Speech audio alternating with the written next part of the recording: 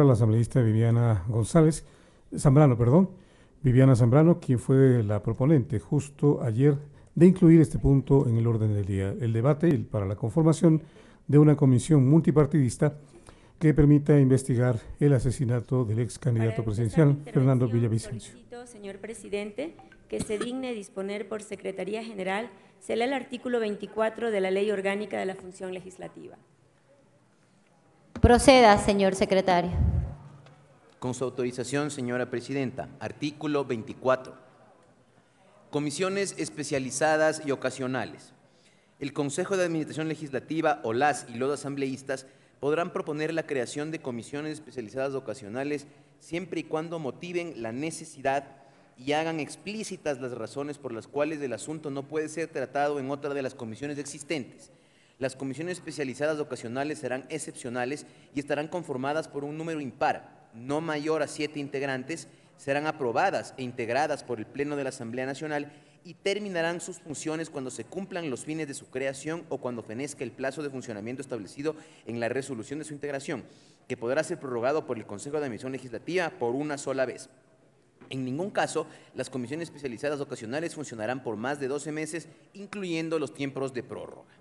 Si vencido el plazo adicional, la Comisión Especializada Ocasional no cumplió con los fines de su creación, el Consejo de Administración Legislativa con resolución remitirá el trámite a ella responsabilizado, a la Comisión Especializada más idónea en virtud de la temática. Las y los asambleístas no podrán pertenecer de manera simultánea a más de una Comisión Especializada Ocasional.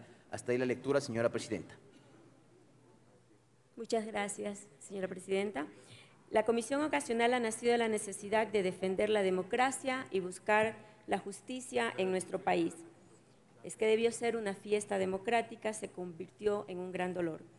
Se demostró la debilidad que existe en la seguridad del Ecuador, ya que se atentó contra la vida de un ciudadano ecuatoriano que luchó siempre contra las mafias y la delincuencia organizada, un ex asambleísta y que era parte de la Comisión de Fiscalización.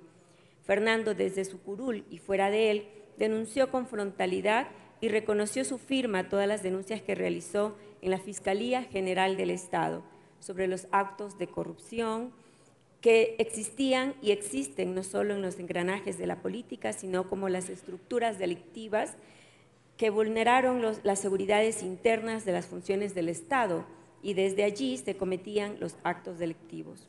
Como legisladores estamos en la obligación de tomar las decisiones que demuestren a los ecuatorianos que estamos sintonizados con las necesidades del país.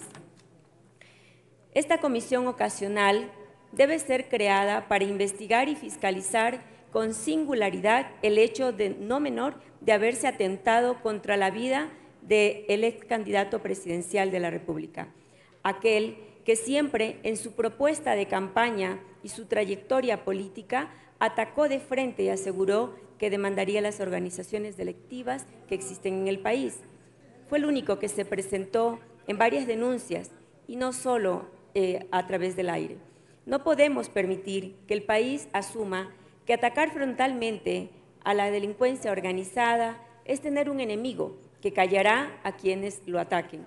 Y menos podemos permitir que nuestros ciudadanos vivan en el estado fallido en el que acusar los actos delictivos sea causa de amedrantamiento o peor, ataques sobre la vida de quien lo realice o sus familiares.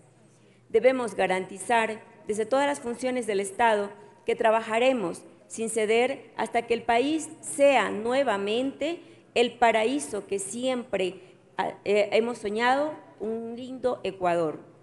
Colegas asambleístas, esta comisión ocasional es necesaria ya que las comisiones especializadas permanentes no conocen, consideran o discuten sobre el caso en concreto, ya que esta comisión ocasional tendrá en sus principales acciones uno, investigar el motivo del asesinato de Fernando Villavicencio. Dos, ¿qué pasó con los casos denunciados por él? Tres, exigir se determine con claridad quiénes fueron los autores intelectuales y materiales del hecho. Cuatro, solicitar la cooperación internacional necesaria para que en un trabajo en conjunto se esclarezca el hecho. Cinco, exigir la celeridad en las investigaciones de las denuncias realizadas. Seis, fiscalizar cómo se trató y se dio seguridad a las personas privadas de su libertad que presuntamente intervinieron en el hecho y que pese a estar bajo el resguardo del Estado, se habría atentado contra sus vidas. Presentar proyectos, eh, presentar proyectos de ley que reformen y garanticen la seguridad de candidatos, servidores públicos y todos los ciudadanos que participen en un proceso electoral. Demostrar además que desde la Asamblea Nacional legislaremos para garantizar que el hecho acontecido con nuestro, nuestro querido amigo Fernando Villavicencio no volverá a ocurrir. Es decir, existen varios fundamentos que permiten deducir que los hechos que se investiguen, fiscalicen y legislen en esta comisión ocasional no podría ser tratado o conocidos por otra comisión especializada permanente, por lo que se justifica de forma adecuada y se cumple con lo señalado en el artículo 24 de la Ley Orgánica de la Función Legislativa. Es por lo referido que pido, colegas asambleístas, su apoyo en la moción que presentaré. En esta moción que ya ha sido entregada y que también ha sido entregado el, la resolución. Hasta ahí, señora presidenta y señor secretario. Tiene el uso de la palabra.